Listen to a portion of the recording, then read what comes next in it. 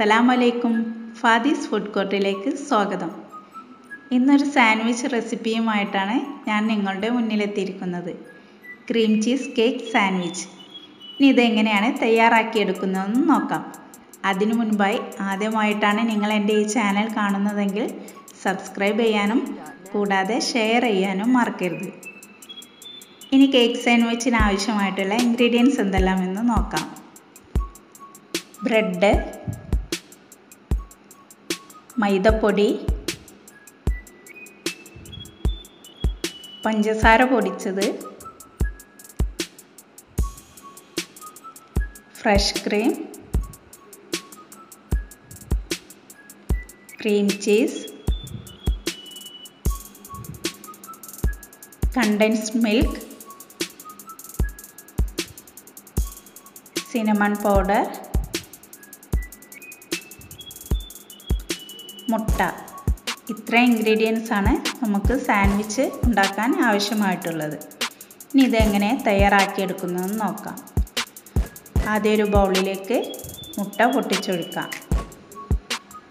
ഇനി അതിലേക്ക് മൂന്നോ നാലോ സ്പൂണ് പാൽ ചേർത്ത് കൊടുത്ത് നന്നായിട്ടത് ഒന്ന് മിക്സ് ചെയ്തെടുക്കാം. സ്പൂൺ വെച്ച് തന്നെ നന്നായിട്ട് നമുക്ക് മിക്സ് ചെയ്തെടുക്കാം. ഇനി ഈ മിക്സ് നമുക്ക് മാറ്റി വെക്കാം. ഇനി അതിനുശേഷം ഒരു സോസ് ഉണ്ടാക്കിയെടുക്കാം. ഒരു ബൗളിലേക്ക് ഒരു രണ്ട് സ്പൂൺ ഫ്രഷ് ക്രീം ചേർത്ത് കൊടുക്കാം. അതിലേക്ക് നമുക്ക് മധുരത്തിന് ആവശ്യത്തിനുള്ള കണ്ടൻസ് മിൽക്ക് ചേർത്ത് കൊടുക്കാം.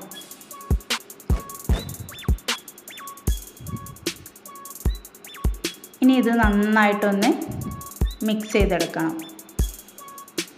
കട്ട കെട്ടാതെ നന്നായിട്ട് മിക്സ് ചെയ്തെടുക്കാം.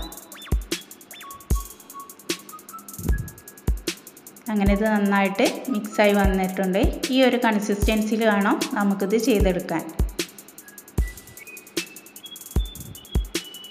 ഇനി ഒരു ബ്രെഡ് സ്ലൈസ് എടുത്ത് അതിന്റെ സൈഡെല്ലാം ഒന്ന് നമുക്ക് കട്ട് ചെയ്ത് മാറ്റാം.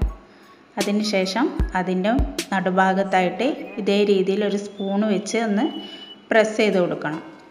പൊട്ടിപ്പോവാത്ത രീതിയിൽ വേണം നമുക്കത് പ്രസ് ചെയ്തെടുക്കേണ്ടത്. ഇനി നമുക്ക് ആ പ്രസ് ചെയ്ത ഭാഗത്ത് ഒരു ചീസിന്റെ പകുതി ഭാഗം എടുത്ത് അവിടെ ഒന്ന് സെറ്റ് ചെയ്ത് വെക്കാം. എന്നിട്ട് അതൊന്ന് ചെറുതായിട്ടൊന്ന് അമർത്തി കൊടുക്കണം. ഇതേപോലെ ചെയ്തെടുക്കണം. ഇനി അതിന്റെ നാല് വശത്തും ചീസ് ഒന്ന് തേച്ച് പിടിപ്പിക്കാം. സ്പൂണ് വെച്ചിട്ട് അതിന്റെ നാല് വശത്തും നമുക്കിത് തേച്ച് കൊടുക്കണം. ഇതേ രീതിയിൽ ചെയ്തെടുക്കാം. ഇനി അതിന് ശേഷം നമ്മൾ നേരത്തെ തയ്യാറാക്കി വെച്ച ഫ്രഷ് ക്രീം സോസാണിത് അത് ആ ബ്രെഡിന് മുകളിലായിട്ട് നമുക്ക് ഒഴിച്ചു കൊടുക്കാം. കൂടുതലായിട്ട് ഒഴിച്ചു കൊടുക്കണ്ട. അതിന്റെ ഉള്ളിലോട്ട് ഇറങ്ങിത്തക്ക വിധം വേണം അത് ചെയ്തെടുക്കേണ്ടത്. ഇതേ രീതിയിൽ അതിന്റെ മുകൾ ഭാഗത്ത് ചീസിന്റെ മുകൾ ഭാഗത്തും ആകുന്ന രീതിയിൽ അത് ഒഴിച്ചു കൊടുക്കണം. ഇനി നമുക്കതൊന്ന് ഒരു ബ്രെഡ് പീസ് വെച്ച് അതൊന്ന് കവർ ചെയ്തെടുക്കാം. എന്നിട്ടൊന്ന് ചെറുതായിട്ടൊന്ന് ഇതേ രീതിയിലൊന്ന് പ്രസ് ചെയ്തെടുക്കാം. ഇനി നമുക്ക് ഈ സാൻഡ്വിച്ച് ഒന്ന് കോട്ട് ചെയ്തെടുക്കാനുള്ള മിക്സ് തയ്യാറാക്കിയെടുക്കാം.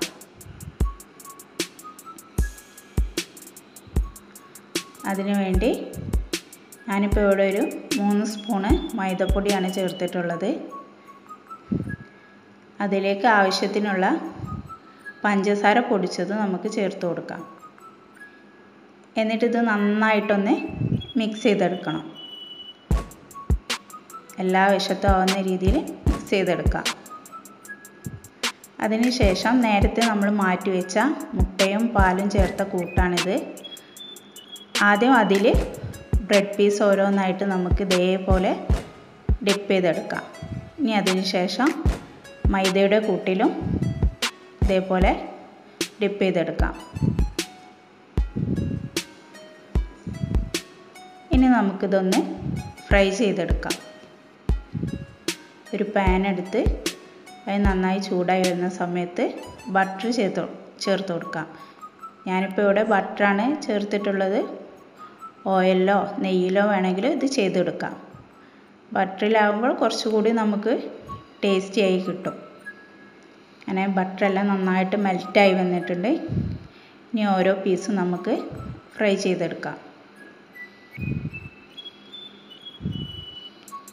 ഞാനിതിൽ ഒരു പീസിന്റെ മുകളിലായിട്ട് സിനമൺ പൗഡർ വിതറി കൊടുത്തിട്ടുണ്ട്. അങ്ങനെ രണ്ട് ഫ്ലേവറിലാണ് ഞാനിത് ചെയ്തെടുത്തിട്ടുള്ളത്.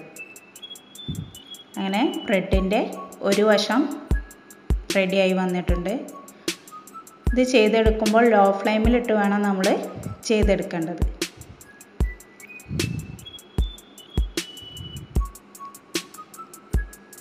ഇപ്പോൾ ഇത് റെഡിയായി വന്നിട്ടുണ്ട്. ഇനി നമുക്കത് സെർവിങ് പ്ലേറ്റിലേക്ക് മാറ്റാം. അങ്ങനെ നമ്മുടെ ക്രീം ചീസ് കേക്ക് സാൻഡ്വിച്ച് ഇവിടെ റെഡിയായി വന്നിട്ടുണ്ട്. എല്ലാവരും ട്രൈ ചെയ്ത് നോക്കണം. കൂടാതെ എന്റെ ചാനൽ സബ്സ്ക്രൈബ് ചെയ്യാനും അതേപോലെ തന്നെ നിങ്ങളുടെ അഭിപ്രായങ്ങളും നിർദ്ദേശങ്ങളും കമൻസിലൂടെ അറിയിക്കാനും മറക്കരുത്. താങ്ക്